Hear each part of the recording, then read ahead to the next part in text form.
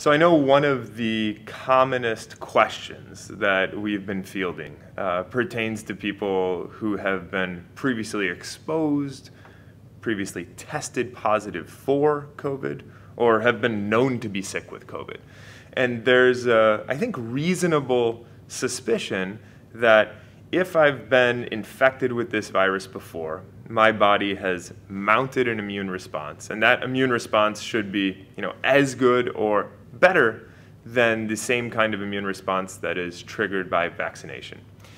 Meaning, I think there are people out there who've been sick with this, with COVID previously, and they're deciding to perhaps forego vaccine uh, in order to um, fall back upon the so-called natural immunity from a prior infection. That is oftentimes, I think, a reasonable line of thought. I mean, we know lots of other viruses that work just that way. Um, you can either get vaccinated against them, or you can rely on natural immunity from prior infection. Unfortunately, COVID, SARS-CoV-2, is not such a virus. And it's taken us a while to, I think, have enough experience in real-world data um, to demonstrate that. So let me explain a little bit more. We know now confidently that individuals can get sick with this virus on multiple occasions.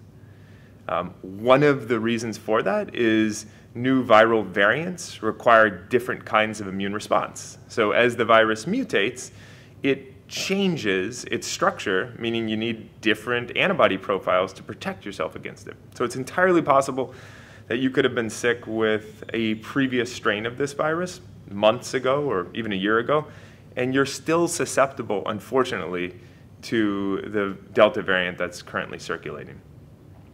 We now have a pretty good basis in medical research and literature where we've compared populations who have so-called natural immunity from prior infection versus vaccine-induced immunity from vaccination. And the answer appears quite clear. The vaccines result in longer and more substantial immunity then does an infection. And the final point is these things don't work in isolation. So we have uh, millions of individuals who have been infected with the COVID-19 virus and have also ended up pursuing vaccination, and those individuals appear to have very strong levels of protection. So the take home is, I think, um, natural immunity from prior infection is not enough. Um, and you don't need to be fearful about adding a vaccine to that. Indeed, that seems like the right thing to do.